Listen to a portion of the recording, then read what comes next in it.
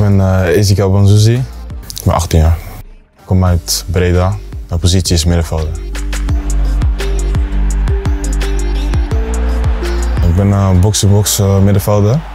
Mijn sterke punten zijn uh, diepgang, snelheid, veel kracht heb ik. Scorend vermogen, uh, acties in huis. En, ja, ik ben harde werker, dus, en ik hoop dit seizoen betrokken te zijn bij veel doelpunten, assists te geven.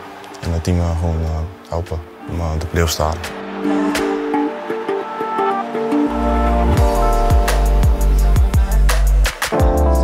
Ik ben blij dat ik, uh, ik naar uh, Leven mag gaan.